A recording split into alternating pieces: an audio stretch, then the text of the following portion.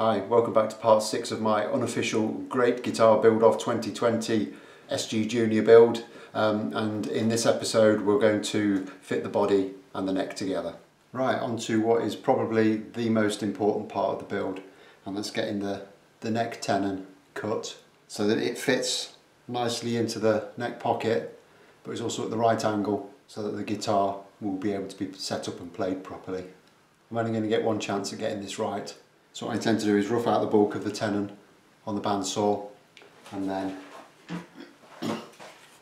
I've got a jig that the neck will fit into and the angle on the front of it is the exact angle that I need to be cutting these cheeks away at.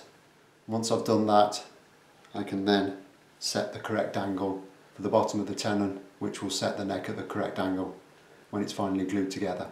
There's a lot that can go wrong here. Um, I've got a little bit of an insurance policy though. I've deliberately left the neck pocket about 10 millimeters too long.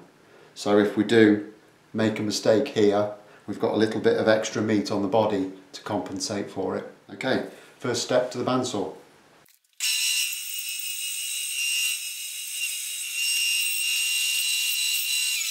Okay, so that's roughed out and it's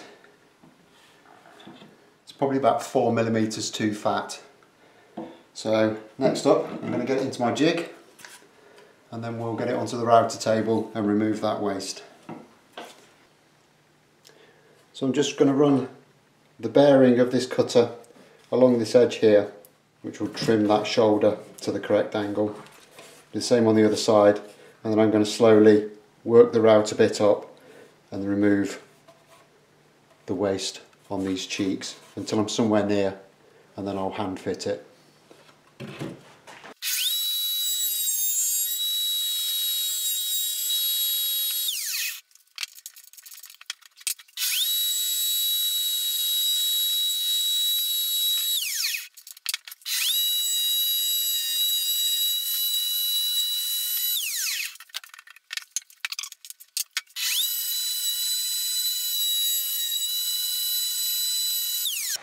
So I've been backwards and forwards with that um, for a little while now. Slowly but surely getting it somewhere near and it's it's almost there. Very, very tight. So I just need to take a tiny little bit off the front edge I think and we'll be somewhere near. I'm going to take it out of its jig I'm probably just going to use a card scraper on these cheeks until we've got the fit that we need.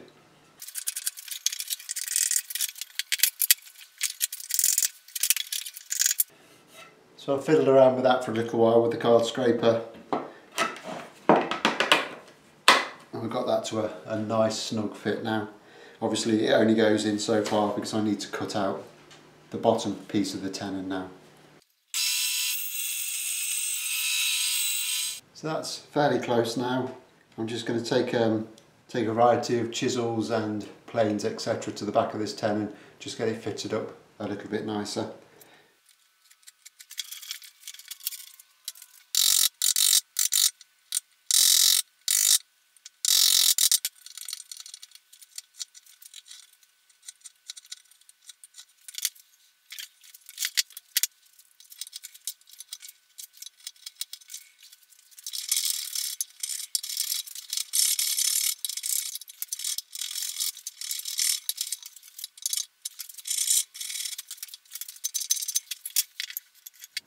I've kept this part of the body longer than it needs to be until I've got the neck progressed to a point where I can work out what needs to be where um, and now understand where that's going to be so the next job is to trim down this area of the neck pocket to the appropriate length.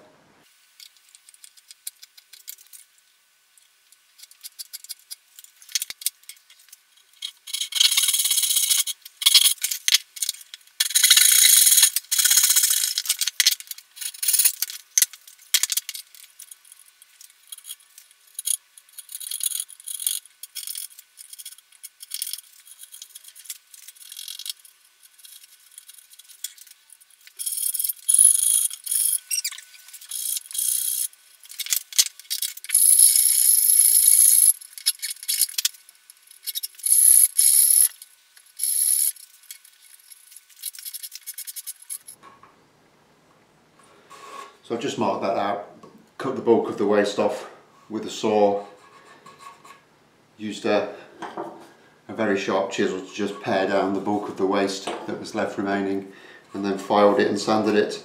That's really flat and level now.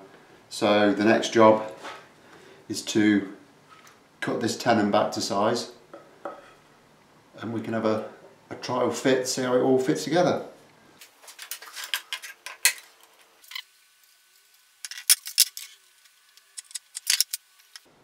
So I'm just going to very quickly take that off on the bandsaw. Now because this is an angled tenon, we obviously need to have the same angle on the, on the butt here, else it won't fit into the pocket properly. So the next job is I'm going to cut that angle on there and then I'm going to put a little radius onto the end of the tenon and then hopefully we should have something that fits pretty well.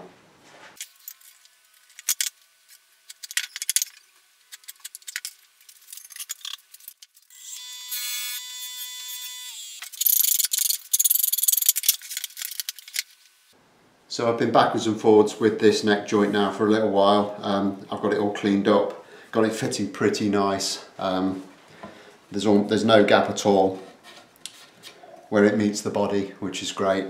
Um, it might need a little bit of tweaking once I've got the rest of the neck shaped, but we'll, we'll see how that breaks down. The neck joint is, is nice and tight, um, but not so tight that it's going to squeeze all the glue out when you put it together, which is really what you're aiming for. Well, that's it for this one. I'm starting to become aware that time is getting tight on this project, um, but it's Thursday tonight, so we're nearly at the weekend, and I intend to spend quite a lot of time this weekend moving this build forward. So thanks for watching. Um, the response to this series has been amazing, and I'm just really pleased that people are enjoying the build as much as they are. So if you haven't done so already, subscribe to the channel, hit that notification bell, and I'll be back with the next instalment as soon as possible. See you later. Bye bye.